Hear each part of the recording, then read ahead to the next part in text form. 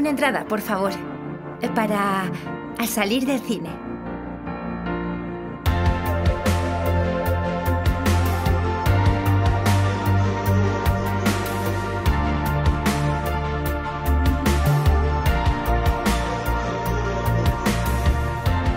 En demasiadas ocasiones pensamos mucho y sentimos muy poco. Así que les haré una oferta que no podrán rechazar. Acompáñenme y sean bienvenidos, porque aquí comienza Al salir del cine.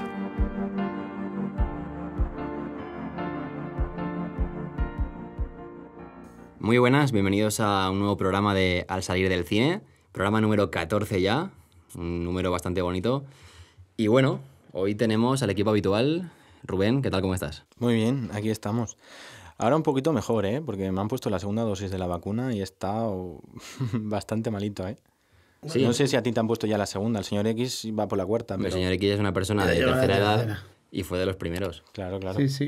¿A ti te han puesto la segunda ya? A mí me pusieron la segunda y, y lo pasé mal. O sea, Sí, sí, llegué a yo casa, Con, yo con fiebre, ¿eh? yo, yo lo pasé muy mal, eh, como, un, como un constipado, pero, pero por dos. ¿Y tú, señor X, qué? Tú nada, ¿no? Pues yo muy bien, yo pedí otra, me pusieron una de más. Una de más, ¿no? Por si acaso. Sobró una y me pusieron, la pusieron a mí. La tercera. Eh, señor X, Dime. ¿de qué hablamos hoy? Lo sabes, ¿no? ¿Te has preparado el programa, no? Como el de Como Spiderman. el de Spiderman, de J. Bond. Te rías, de J. Bond, el agente De James 007. Bond. Pues vamos a hablar de James Bond porque resulta que este fin de semana se ha estrenado, bueno, el viernes se estrenó la nueva película. La nueva película de James Bond, protagonizada por Daniel Craig, el actor este de ojos azules. Y vamos a hablar, como vimos que en el de Spider-Man, a lo mejor se nos quedó demasiado grande tantas películas, Sí, hemos decidido hablar... abarcar demasiado. Claro, ya que se estrena la nueva película, vamos a hablar de el origen de la primera. La verdad es que cuando comentábamos, vamos a hablar de James Bond, pensaba que te referías a la primera de James Bond de, por- de, por ejemplo, Daniel Craig. Pero no. Eh, cuando vi la peli dije, ostras, es la del 62, es la primera. Claro, claro. La, Ahí hubo que recapitular ¿Esa es la, bastante, la primera ¿no? que se hizo? la primera que se hizo, sí. De Sean Connery. Sí. Sin Connery es. Sean Connery, que lo conocerás por que hablamos de él en Indiana Jones, que Es es, verdad, el padre de. Indiana Jones en la tercera película. Lord, es Lord. Lord. Claro, es que también, eh, al igual que en Spider-Man, aquí en James Bond también hay bastantes actores, ¿no? Que han protagonizado al, al- al personaje. Lo tengo aquí bien todo estructurado y son en total seis. Seis. Si contamos que se Seis hizo una actores. parodia y que se hizo una miniserie de televisión, son ocho, pero bueno, de cine son seis. ¿Y la, la serie cómo era? ¿Cómo era de qué? ¿Sabes cómo se llamaba la serie? También rollo James Bond se llamaría, imagino. Es que hay- No, la hay gente, la de risa, la gente 009 ese. ¿La de No, risa dices tú? Tú dices Austin Powers, ¿no? No, y luego hay otra que era la gente 009, que era de No risa. recuerdo el nombre, pero hay una serie del La serie. 80, del No, 90. No, pues la que digo yo es antigua. que, que, que se... Creo que esta serie es americana y no es inglesa. Y creo que copia muchísimo a... a- bueno, incluso en la música también copia bastante lo que es eh, 007. Tú te la sabes, ¿no? Bueno, al menos el señor X Hombre, hoy se en 14 sabe- programas hoy viene preparadísimo, vamos. Bueno, chicos, eh, como decía, 62. eh, James Bond viene de los libros. Son unas novelas que escribió un tal Ian Fleming, no sé si os suena. Y pues el primer libro se escribió en el 52. Eh, constan de 12 novelas de, de James Bond. Y, y nada, o sea, fijaros si es, si es popular que hasta después de la muerte del escritor todavía se sigue haciendo libros de James Bond porque hay autores que están autorizados para hacerlo Vaya. tienen los derechos, o sea, es una pasada lo que ha generado este, este personaje, que lo que os digo, vienen de los libros, pero todo el mundo lo conoce por el cine. Yo por lo menos sí. Sí, sí, yo también. No, al, al final pasa como con otras muchas franquicias, ¿no? Al final Harry Potter igual, ¿no? Te vienen de unas novelas y se producen una franquicia enorme. Ya que has nombrado Harry Potter, vamos a jugar a un pequeño juego rápidamente. El señor X me está mirando como una cara Sí, diciendo... sí, estoy mirando, ya te lo diré por qué. Ahora te lo diré. Me tiene manía, esto es oficial ya. El señor Ya, X me tiene manía. No, no, no. Yo ya me había dado cuenta. bueno, eh, hablando de, de Harry Potter que has dicho, hablando de James Bond, eh, para que veáis la magnitud de la saga de James Bond, quiero deciros a ver que, cuál es la franquicia de, de películas, cuál es la saga de películas que más dinero creéis que ha recaudado a la historia del cine. Hombre, si dices esto, James Bond no será. Estamos hablando de James Bond, pues era James Bond, digo yo. Vamos a jugar una cosa, a ver, O la de top 10. Tarzán. Top 10. O sea, son sagas de películas. Tarzán y, su- y la chita. No, creo que ni estén en ¿Cuál el top creéis que es 50. del, del 10 al 1 las más recaudadoras? O sea, las que más han recaudado en la historia. No, pero yo O creo sea, que, la que más, las que ¿Os más diciendo si queréis o voy diciendo? Star Wars, Star Wars está en el top. Obviamente. pues dilas tú, así no perdemos Jurassic tiempo. Park. Jurassic Park no, fíjate. No, vaya. Harry Potter también. Harry Potter sí. Madre de una escopeta que ha visto un loro. De pájaros y exceso también haber alguna. Claro. Eh, bueno, la top 10, eh, El Señor de los Anillos, con Muy buena 5.800 también. millones. Ostras, pues yo no he Sí. visto ninguna. Sí, Batman, bueno, todas las de Batman. También. Contamos como el personaje ¿El también. primero, El Señor de los Anillos? No, el 10. El ah, el 10. 10. Ah, vale. Nueve vale. Batman. Vamos, vamos eso, de no menos. De menos a a más, para que, Vale, vale, vale, vale. para que sea interesante. Vale, ya he pillado. Batman el 9 con 6.000 millones. Madre mía. X-Men con 6.075. Fast and Furious con Vale, Fast and 6.122. Furious también la están estirando yo no he visto bastante. ninguna. Demasiado. Pues se están haciendo un montón. Yo tampoco he visto dos. Si no se van por la 10. O, o por ahí, no lo sé. No, vale. Luego James Bond con 7.119 millones de dólares. James Bond, ¿en qué puesto? ¿El 6? El Siete. 10, 9, 8, 7. Sí. El 7. Sí, sí. No, el 7 no. 1, 2, 3, 4 y 5. El 5, que vale. no lo vale. tengo numerado. Vale, Hay vale. mucha información aquí. Y bueno, luego Spider-Man, Los Vengadores, Harry Potter, Star Wars. Y, Y el primero es el universo cinematográfico de Marvel. Bueno, ya. O sea que. Sí, pero ahí abarcan muchos personajes, Claro, por muchas ejemplo, películas. claro, no ¿no? contamos Spider-Man en el DUCM este, pero bueno, más o menos ese es el top. Star Wars el 2. Hmm. O sea que para que veáis, James Bond está ahí. Estuve en, la, sí. en la tienda en Londres de James Bond. ¿Sí? Hay una tienda allí de, de la gente 007. Te podías haber comprado un smoking para hoy. No, hombre. Bueno, la verdad es que James Bond es un personaje inglés y es cine inglés, ¿no? Si no me equivoco. O sea que es uno de los de las principales armas que tiene el cine inglés para mostrar al mundo. Pues siempre se habla del cine americano, pues hoy vamos a hablar del cine inglés. Sí, la verdad es que sí. Todas las películas están, están producidas por esa por una productora que se llama. Eh, perdón, chicos, que Bueno, la primera, en, en, en esta, en la James Bond del 62, al principio aparece la Metro Goldwyn Mayer, ¿no? Aparece el león. Sí, sí, pero en, en general los derechos de la película, de- del personaje, los tiene una productora que se llama Eon, de, de Inglaterra. Bueno. O sea, todas están hechas por él. Yo cuando era pequeño veía el león, digo, uy, esta ya la he visto y la quitaba. Me pensaba que era, Era la misma, ¿no? era la misma. Era el león, cuando era pequeñito. Hay una historia que dicen que el león cambiaba, o que siempre ha sido el mismo león. No lo sé. Según los ladridos que pegaba, la película era Mejor o peor, mejor o ¿no? peor. Meladridos. Bueno, chicos, en general, eh, James Rugidos, Bond, en todo caso. seis actores han interpretado al personaje. Sean Connery el primero, que ahora os contaré una historia de él que es bastante curiosa su vida, que falleció hace poco, como lo sabéis. ¿Sí? ¿No lo sabías? ¿Verdad? Está desconectado de- Está, del mundo, eh, ¿eh? súper Sí, desconectado. sí, falleció creo que con 90 años. Ah, no, ah, sí, es verdad. Vale, me había liado yo con el otro, con el, Eh, Es que hay seis. con el Greenwood. Ese también está vivo. No, que me había liado con él, por eso te lo dije. Luego también hay otro, el segundo fue George Lazenby, Roger Moore, que también lo conocéis. Roger Moore también. Timothy Dalton, luego ya Pierce Brosnan, más moderno, y el último, Daniel Craig, que es un este que es rubio sí, y sí, tal. sí, el que hay ahora.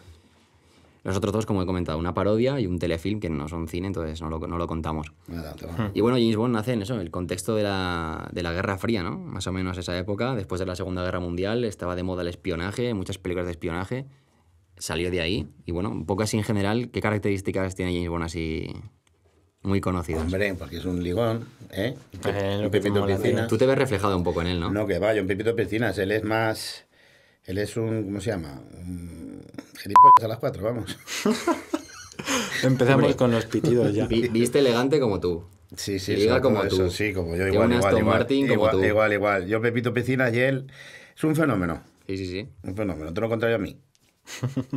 Bueno, eh, la verdad es que hoy en día, Rubén, a lo mejor la película, alguna gente la rechazaría, ¿no? Por algunos comportamientos, Hombre, como hombre, acaba de hombre, decir, ¿no? hombre, hombre, hombre. Bueno, sí, a ver, eh, obviamente en la primera peli del 62, pues al final te, ref- te refleja la época, pero marca un antes y un después en las pelis de espionaje y de, de agentes secretos. Porque muchas que han venido después, mm, me quiero acordar de Proyecto Uncle, que es una peli de, no sé si del 17, No, 16, por ahí, por ahí, con Henry Cavill, ¿no? con Henry Cavill. Más o menos. Y, y es muy. bebe mucho de, de la gente 007. ¿Qué Al bebía? final, ¿Qué bebía? ¿Qué bebía? Whisky, creo. No. ¿No? Tú lo sabes mejor. Agitado, no, ¿cómo se decía? Agitado, no revuelto. Agitado, no revuelto. martini, ¿no? Martini con vodka, agitado, pero no revuelto. James, James Bond. Pues esta película, eh, pues aquí creo que no, no dice la famosa frase esa, pero aquí sí que dice, por ejemplo, la Sí que la presentación. dice, la dice al principio. ¿Sí? Cuando están Cuando está en al, casino, ¿no? al- al póker y la chica le pregunta, ¿y usted quién es? Ahí estaría Eh, sentándome con las palomitas daría James. Bond. James, Pero no creo que James, creo que no dice Bond. Sí, sí, sí. James Bond. Dice James Bond directamente, ¿no? Sí, dice Bond, James Bond, creo, ¿eh? Vale, vale, pues igual sí, igual sí. Es que la- lo ha dicho muchas veces. Sí. Bueno, el señor X está desatado hoy, ¿eh? Está Sí, como sí. un niño pequeño joder. que ahí está os voy impaciente. a contar un, un par de curiosidades Eso es lo que quiero saber yo. eh, de cómo, se, cómo el, el autor de las novelas elige el nombre de James Bond. Y es que él vivía en Jamaica y era muy aficionado a, a la, pues a los pájaros, dicho vulgarmente. Y le gustaba un montón un ornitólogo que se llamaba James Bond. Anda. Entonces él cogió su nombre, hizo las novelas y tal, y a los años, cuando se hizo famoso, la mujer de este le escribió una carta amenazándolo irónicamente, o sea, no iba a, a denunciarlo de verdad, por eh, haber usado su nombre. Entonces el autor escribió otra carta y le dijo que ellos podían usar su nombre para lo que quisieran, como, como pues perdón, ¿no? Entonces eh, este ornitólogo puso el nombre del autor de James Bond a un pájaro muy raro de, de Jamaica. Y bueno, y James Connery, o sea, James Connery, James Connery digo yo, Sean Connery, ya mezclo los, el personaje con el actor. Ese hombre tiene una vida increíble, ¿eh? O sea, jugaba de portero en la liga inglesa, creo que era la segunda. El United quiso ficharle, no lo fichó. Era físico-culturista, también hizo- fue carnicero, era súper desconocido. Y como se presentó a Mr. Universo, justo mm, relacionado, Universo, ¿eh? relacionado con Como el eso, señor X. consiguió el papel. Porque James Bond en las novelas es un personaje que es alto, guapo, viste muy bien. O sea, el reflejo de las películas siempre ha sido el mismo. Incluso con este último James Bond hubo polémica por el tema de que era un poquito más diferente que los demás. Era más bajito, Más bajito, ¿no? rubio, Sí, azules, ¿no? pero al final ha sido... Está bastante guay. Sí, a ver. Yo, sinceramente, es verdad que el James Bond que he conocido es el, el actuado por Daniel Craig y al final es el que más he visto, ¿no? Entonces, para mí yo creo que es el mejor. Además que Daniel Craig también lo he seguido en otras, en otras películas y me parece un actor bastante, bastante correcto y muy bueno. Tiene una O sea, actuación en Puñales por la espalda. No sé si lo has visto. Sí. Que está muy guay. Es otro registro diferente. Sí, es una sí, peli sí, que te sí. gustaría a ti. Está en Amazon Prime, creo. Pues igual he visto, no sé. Y es rollo Agatha Christie de un misterio en una casa y él es el detective. A mí me gustan Está esas. Rollo comedia. Está así, comedia. Está muy guay. Hmm. Pues nada, esta película eh, costó un millón de euros, la panoja que te gusta a ti, y, co- y recaudó 60. Nada, O sea, vamos, una- un auténtico éxito, vamos. Tú dirás. exitazo. Sí, y en general, bueno, pues fue rodada en Londres, la mayoría de, de los No. sitios, y en Jamaica. En Jamaica, ¿no? Mm. Eso te iba a decir. Yo tengo una anécdota de la música, vais a flipar. Ah, sí, pensaba que ibas a decir, tengo una anécdota en Jamaica. No, no, yo no, yo no. ¿Tú sí, no, señor X? Yo sí, yo muchas. ¿Te puedes Jamaica creer que muchas, porque he ido mucho. yo no he cogido un avión en mi vida todavía? ¿No? Ya, ya veremos. Ahora con el tema del COVID está complicado. pues da igual tampoco. Pues el señor X en Jamaica, que es tierra, ya sabéis, de, de Bob Marley. tierra ¿no? de cultivos. Sí, sí. Tierra de cultivo para que salga que una quede claro que al salir del cine no hacemos propaganda de ningún tipo. Nada, ¿eh? nada, nada, nada. Pues, pues, no sé. eh, Pues muy bonito. Cuando quieras contarla, señor X, algún día la contarás. Algún día. Porque esa, esa tierra, ya sabes tú. Cuando hablemos de Bob Marley. Bueno, en general, eh, esta película, vamos a entrar ya en la película directamente, hablar de ella, y yo creo que, no sé qué pensáis, pero a lo mejor al ser de- tan antigua del 62, vista hoy en día, si no la ves con perspectiva, puede ser un poco lenta. Sí, ¿No? bastante lenta al principio. El señor X la vio mientras hacía elíptica. yo no, cómo- yo la película esa ya la había visto. Pero no me di cuenta que la había visto hasta que salió la tía del agua. Amigo. Que No la tía del agua, No me acordaba de lo otro. Digo, oye, oye, me suena, ¿sabéis quién es Halle Berry? Y cuando sale del agua, La chica de X-Men, la que hace de Tormenta. Hmm, Esa también hace de, de- de chica bomb. Hmm. ¿Os acordáis? No, no. No. Pues hay una escena saliendo del agua también, con un cuchillo aquí, o sea, no sé sí, si pero será- es que hay otra, la que ganó el Oscar, Claro. que no sé cómo se llama, La chica está Halle Berry. pero la de, este- la de esta película no, la de otra que ganó un Oscar. Esa, esa. Que la imita es, imita Claro, esta, eso te iba a sí. decir. Es un También- homenaje. También era de J. Bond. Claro, es un homenaje. Claro, Esa chica también, pues yo lo vi y dije, ostras, claro, he visto la nueva y ahora que veo claro, la es vieja. eso, claro. Sí que en general yo, yo veo eso. Pero la verdad es que tiene escenas que, para demostrar la astucia de James Bond, por ejemplo, cuando llega al hotel y pone un pelo en el armario para Ah, ver sí. si abren su armario o no y le espían, que no se dice nada, es rollo Hitchcock, o sea, es, es escenas mudas en las que ves cómo el personaje es astuto, la cámara te cuenta todo. La verdad es que tiene cosas interesantes. Sobre todo eso, que, que Claro, como. James Bond se las sabe todas. Pero se notan mucho los planos que son de mentira. todo Sobre todo en el coche. Eso sí. En el coche es más falso que algunos cromas, ¿eh? Hombre, claro, hace muchos años. Claro, claro. Se nota mucho. Sobre todo a mí me hace mucha gracia eh, de las películas, siempre las maletas no, no llevan peso, que se nota a veces, Ah, eso no me he dado cuenta yo. y los volantes cuando conducen, o sea, siempre están agitando el volante así que al final se van a salir de la carretera. Sí, sí, sí. Encima con el precipicio que había ahí. Pero lo que es raro es que hoy en día también siga apareciendo ese Sí, sí, sí. error, ¿no? Porque hoy en día, jolín. Yo recuerdo... pero hoy, hoy se ve en series. Lo típico. En lo- series es cuando ves eso. Sí, pero películas no ves- lo típico de estar hablando al personaje y dices, pero tío, mira la carretera, te vas a pegar. Yo, yo recuerdo el inicio del Resplandor, que está Jack Nicholson conduciendo, que va por unos acantilados ahí, una- un camino sinuoso, que está haciendo eso y queda súper falso. Es que eso- Pero bueno, esas son cosas que, bueno, queda gracioso, ¿no? Pero bueno, en general, ¿qué os ha parecido la película? ¿Aburrida? ¿Lenta? No, a mí me gustó. A mí, bueno, a mí me gustó porque me gustan las películas del tío este. Pero tampoco me gustan más las de ahora que de aquellas, Claro, claro. Claro, yo, yo estoy ahí con, un poco con el señor X. Y a, y a mí lo que me Imagino más es que- el otro, el 007, pero el otro, ¿cómo se llama? Chris Brosnan, Chris Brosnan se llamaba. ¿Cómo? Pierce Brosnan. Chris Brosnan, ese. Ese es el que más me ha gustado a mí. Mm. ¿Y a ti? A ti mí Daniel Craig. Craig. Pero, Ese es pero el- ese veo la el ahora. película El nuevo, como... El nuevo, el de claro. ahora. Si Claro. no ha visto, como... De hecho, creo que la que se ha estrenado recientemente es la última ya, ¿no? La de Daniel Creo que Craig. sí, porque es que le pagaron 60 millones de, de pavos eh, por hacer de James Bond una última vez. Es que no quería hacerlo. Pff, qué barbaridad, ¿eh? ¿Qué harías tú con esa pasta, señor X? Pues yo comprarme un... Tapar algún agujerito. Algún agujerito. Una casa en. Jamaica. Tapar algún agujerito. Eh, dos cositas yo, antes de empezar con, con tu sección, Rubén. Mm, cuando es la escena de la araña, ¿no te recordó a Star Wars el ataque de los clones cuando tiran ahí a Padme en la habitación? Hombre, Ese rollo a mí me recordó a eso un poco, ¿eh? hay que salvar la distancia. Sí. Un poco, ¿eh? O sea, está- estará saliendo aquí la comparativa. Pero No, no lo he visto. yo lo que sí que quería comentar es que la película igual en la época pega un pelotazo y, y surge un antes y un después en el cine de, de- de agentes secretos y tal.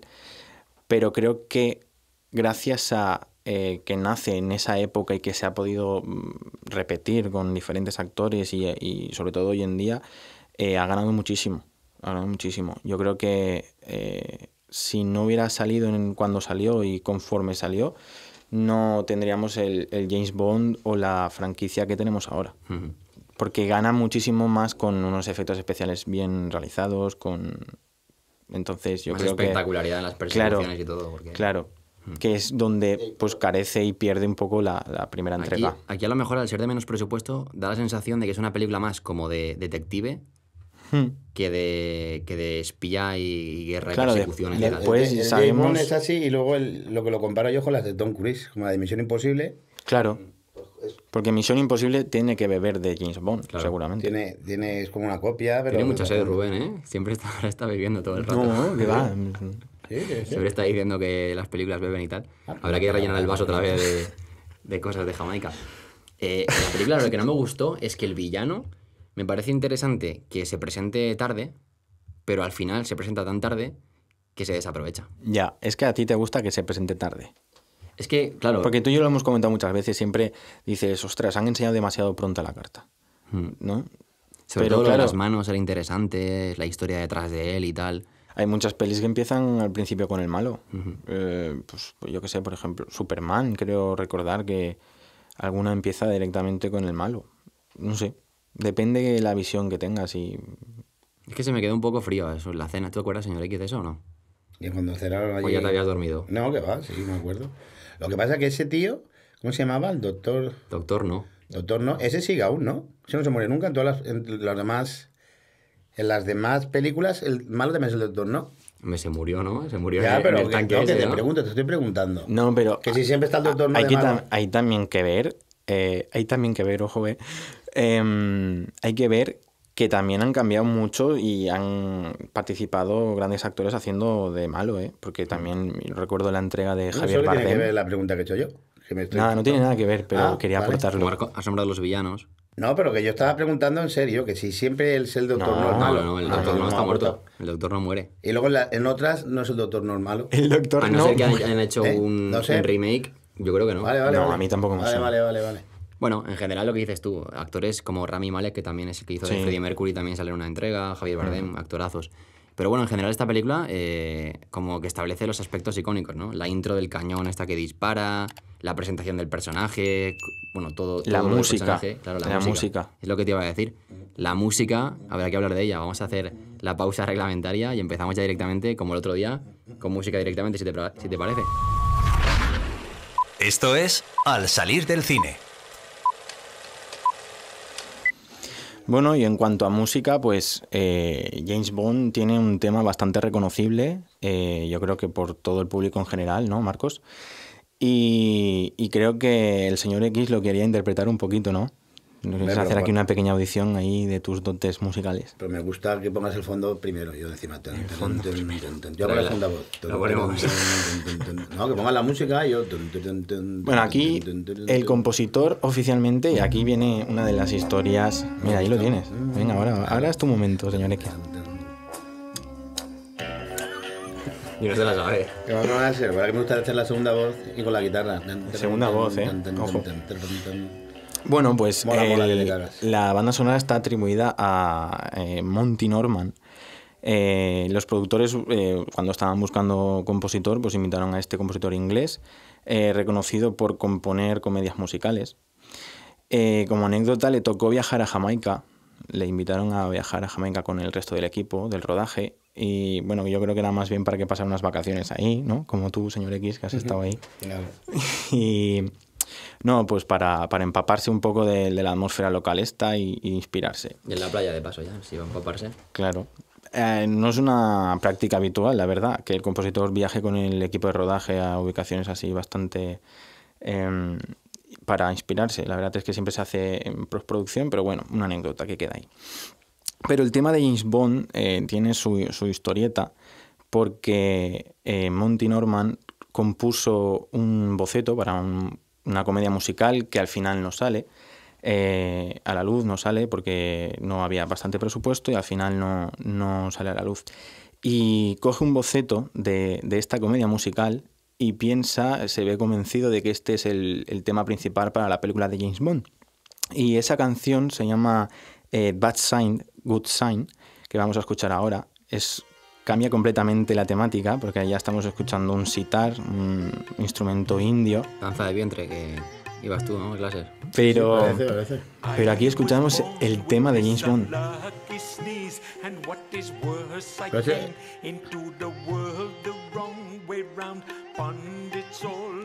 Parece my Al final es música india, ¿no? Y, y, bueno, pues de, de aquí sale el tema principal de James Bond. Pero claro, ¿qué pasa? En la época, el compositor, ya hemos hablado muchas veces de que un compositor de música y cine tiene un gran equipo humano detrás trabajando para él, para que pueda salir la producción de una banda sonora. Estamos hablando de una hora y pico de música en 30 días, un poco menos.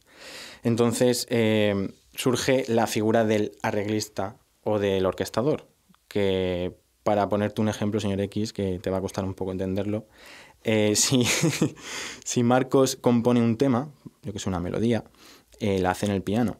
Yo soy el orquestador o el arreglista y yo tengo que mm, poner esa melodía en orquesta sinfónica, o en banda de jazz, o en, o en lo que sea. Ahí está. Cuidado, no rompas la mesa, señor X, no te pongas nervioso. ¿eh? Es que lo- Dime, dime. Tengo que hacer una recopilación de los golpes que ha pegado él porque ya son varios, ¿eh? Hombre, es que me tenéis aquí sin menearme. Y de pitidos, una sección sin pitidos. Ah, Bueno, el, trabajo del orquestador es muy importante. Es verdad que hoy en día ya el propio compositor, con los medios que tenemos actualmente, ya eh, la figura del orquestador o arreglista ha, ha pasado a ser eh, copista realmente, que es el que saca los papeles para que cada músico pueda interpretar su papel.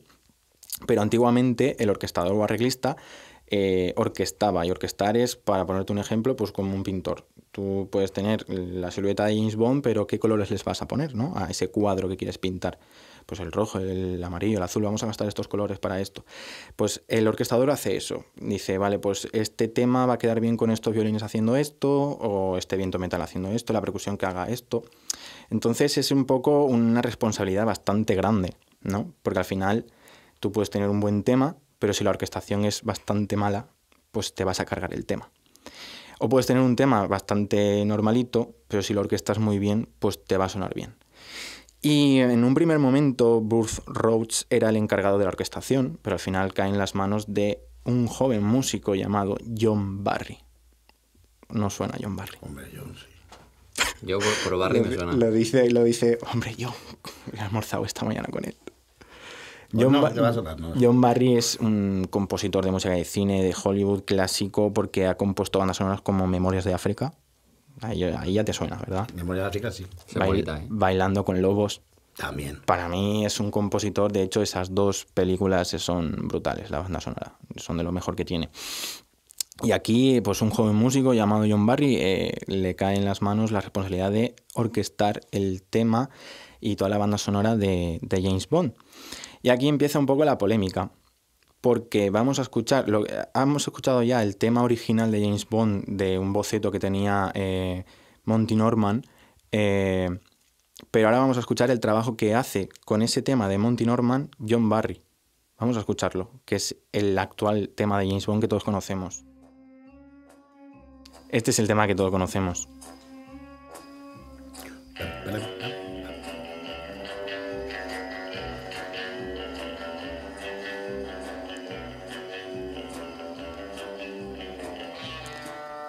Este sí que lo conoces, ¿no? Sí, claro. Este tema. Hombre. Pues esto es el arreglo y la orquestación de John Barry. Entonces, a partir de aquí nace una polémica de quién es el verdadero autor, si Monty Norman, que si John Barry. De hecho, hasta tres juicios le tocó eh, intervenir eh, Monty Norman porque le atribuían el- la composición a, a John Barry. De hecho, cuando le preguntan a John Barry quién es el compositor, si realmente Monty Norman es el compositor, él dice absolutamente no. O sea, hay una guerra ahí por la autoría del tema de James Bond bastante tocha, por, por así decirlo. Hombre, y de pasta también, ¿no? Porque vaya... Claro, al final, obviamente, porque si el tema no tuviera repercusión económicamente, yo creo que... Pero el tema final- de la primera película es este y todas es el mismo, siempre no lo han Sí. arreglado Me más. imagino que eran variaciones y tal, ¿no? Pero- Hacen variaciones, obviamente, Ajá, hacen variaciones, pero, pero es verdad también que, que, que han pasado diversos compositores, pero al final el tema siempre está ahí, ¿no? Pero bueno, lo que sí que es verdad que en el tema original de James Bond, que es el que conocemos, eh, si lo empezamos a analizar, hay 40 segundos que sí que son oficialmente de Monty Norman, de la canción que he comentado de esa comedia musical que al final no se realizó, eh, que sonaba así indio, ¿no? Pero de esos 40, de un minuto 50 que dura el tema, 40 segundos son de Monty Norman. Pero el otro minuto que falta es el trabajo de John Barry de orquestación y, de arreglos. Entonces, claro, al final en los juicios se proponía que tuvieran una coautoría, ¿no? De, de decir, los dos son autores, tal. Pero finalmente los juicios los gana Monty Norman y oficialmente se le atribuye a él el, el tema de, de James Bond. De hecho, a una de los uno de los juicios fue porque una revista publicó un artículo de que Monty Norman, en su estancia en Jamaica, había comprado a un jamaicano ese tema por 100 dólares. Y tuvo que ir a juicio y todo para, para demostrar que no. O sea, fíjate, Vaya movidas, ¿eh? Pues sí, me he quedado de piedra. igual no era por el tema, era por otra cosa. No, me vuelto loco. Bueno, Mira que habla bien Rubén, ¿eh? sí, sí. Sí, y el señor X siempre interrumpiéndome. Joder, pues estoy escuchando. Hoy se está portando bien. Encima que he visto la película. Hombre. Pero historia curiosa, ¿eh? Historia curiosa. Pues eso es lo que he dicho, que me he quedado de piedra. No, pues a mí, a mí me ha gustado Rubén porque siempre en la música siempre pasan estas cosas también. Porque fíjate en Titanic también era lo mismo. Eh, James Horner con el director, polémica, era otra polémica aquí. Siempre Que los músicos. atrás no la hay- música. No hay, no hay ninguno que dé por culo. La prueba la tienes ahí. Bueno, si queréis, mira, vamos a escuchar un- una otra audición. Y es que, como tú decías, pero siempre en, la- en las actuales películas de James Bond es la misma música, pues obviamente sí, es el mismo tema. Me ya, pero Pero- decirte si la cambiaban. Mm, La, la pueden variar en secuencias de acción y tal, y, y no siempre tiene que aparecer el tema, ¿no? Y ahí cada compositor nuevo pues ofrece su- sus nuevas cartas. Pero, pero el tema principal siempre está, ¿no? Entonces vamos a escuchar el, el último tema, bueno, el tema de James Bond, pero orquestado, arreglado por Hans Zimmer, que ese ya lo conoces, el del Rey León, que ya ha salido en varios programas, Sí, pero no me quedo con los porque, nombres. porque es el, el compositor de esta última entrega. Pero, es pero ya Hans Zimmer. que cuando diga un nombre, acompañará sí, de la claro, porque si no, yo no sé de quién es. Claro, no Rey León, Piratas sí, del Caribe. Bueno, pues Hans Zimmer, vamos a escuchar. otros problemas tengo ese también. Aquí cambia la orquestación, igual no es tanto de jazz, más orquestal, más parecido a Piratas del Caribe, puede ser el principio, Origen. origen, armónicamente, pero aquí ya está la esencia de James Bond. Hans Zimmer hace todo, ¿eh? Sí, es un... Es que te batía la trompeta, ¿no? De Está hecho, bueno ya que dices la trompeta, Hans Zimmer llamó a Arturo Sandoval, que es uno de los trompetistas más top a nivel mundial, para grabar la, la banda sonora de esta última entrega de James Bond. O sea que el tío, el tío maneja, maneja, Pinta, está, pinta. está, es el, el capo de la mafia, de la música del cine actualmente. Todo lo hace él, todo siempre vamos. Sí, pero un día ya hablaremos de Hans Hasta que, Zimmer. llegue- hasta que tú hagas las tuyas. Claro, hasta que llegue yo Hasta ahí el- con Marcos, hasta vamos a ser Spielberg y Williams. ahí la de, cuando hagas la de pajaritos y todas estas. Haremos un remake de la de Rocket tercero. Ahí, ahí. Rocket Que pondrán la música. Vale, Es la misma que la de Rocky. No Bueno, hace falta... Está- eh, estamos casi acabando. ¿Algún dato más interesante, Rubén? No, nada, eso que... Algo se le ha quedado, algo se le ha quedado. No, no, Sí, te preocupes. Se ha quedado algo. Mucho tengo apuntado yo, pero Ah. Lo básico lo no, hemos no hay dicho. tiempo para Bueno, en contar verdad, para media hora hemos dicho un montón de cosas, ¿eh? O sea, Hombre, creo que quien nos vea acabará con la cabeza... Con mucha información. sí, Bueno, pero si ahora está bien hacemos un también. examen, ¿tú qué sacarías? Yo un 7. ¿Un 7? Un siete, pelao. ¿Examen de James Bond? 7 y Siete porque, pelao. y porque me he hecho el chulo. Yo soy de 5. Bueno, Y de chuletas, ¿no? Como James Bond también. Claro. Que son chuletas. Bueno, eh, hasta aquí más o menos. Llevamos media horita prácticamente. Eh, lo que tú decías de Hans Zimmer es que Hans Zimmer me podía tirar un programa entero hablando de él, pero porque tú dices, siempre está ahí, siempre está ahí, pero es que tiene tanta faena que tiene que delegar. Y cuando delega, pues son amigos suyos o son alumnos suyos. Entonces, claro, al final siempre lo ves. Eh, fijaros muchas veces en los créditos, por cierto, James Bond, unos créditos largos, ¿eh? Unos mind titles encima con animación y todo. de, de los que me gustan a mí. A mí me gustan los, los créditos al principio. Sí. Sí, porque la gente se va, como el señor X. Cuando acaba la película se va. Pues a mí no me gustan al principio y al final. Los No, sí, créditos. por que dar reconocimiento a todo el equipo. Ya, pero, que- pero bueno, sí. Pero bueno, aquí te los ponen entretenidos. todos podemos Te los opinar. ponen animados. Claro. me gustan. O sea que... Entonces, pues fijaros que a veces sale Music by Klaus Badel, por, por poner un ejemplo, y luego Music Supervisor Hans Zimmer. Y dices, ah, bueno, no ha hecho la peli, pero está ahí, metido en el ajo. Pues ya te digo, O los que- créditos, señor X, son Yo no- cosas importantes. Sí, ¿eh? Por ejemplo, no, digo que en, no, en Divergente, no- Divergente sale Yankee Excel, el compositor, pero luego Music Supervisor para Hans Zimmer. Claro, cuando yo vi eso en el cine dije, jolín, ya está otra vez el Hans Zimmer aquí. Sí, sí, sí. Entonces, claro, luego te documentas y tal y lo entiendes. Pues hablaremos un día de, él y de sus películas. Y lo que te decía, señor X, para comentar el, el final solo, los créditos son bastante importantes. Es más, eh, te pueden contar la historia. O sea, la tipografía, cómo se animan, cómo entran, cómo salen, te cuenta cosas de la película. Es más, Hitchcock también le daba mucha importancia y trabajaba con un chico que se llama Saul Bass, bueno, con un hombre en esa época, que era exclusivamente el diseñador de los créditos de las películas de Hitchcock, bueno, y de más gente. Sí, sí, Pero- no, si yo no digo que no tenga su importancia. De hecho, en un es que proyecto- yo no tengo costumbre de leerlos. No puedo hablar mucho, pero en el proyecto que estoy involucrado ahora mismo, lo último que se hacen son los créditos. Hombre, claro, normal. Imagínate.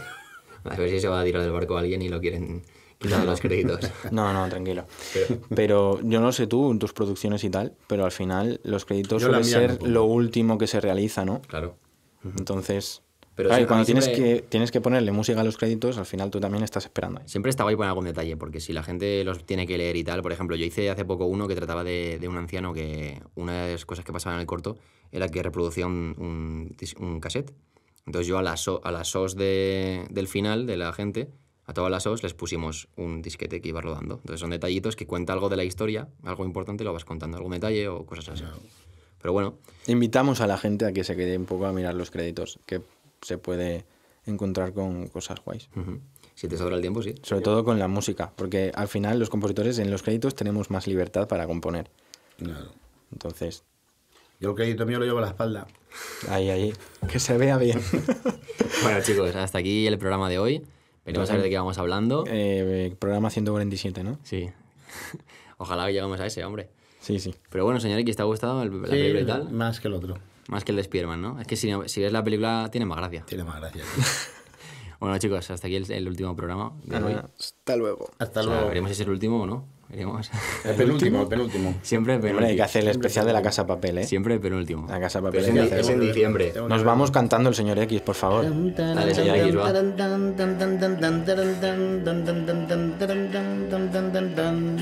mm, mm, mm,